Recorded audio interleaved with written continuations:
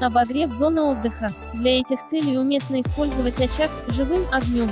Он может иметь разную конфигурацию, и простейшим вариантом является обыкновенное кострище, представляющее собой углубление в грунте. Более сложные, но и надежные конструкции изготавливаются из камня, кирпича и металла.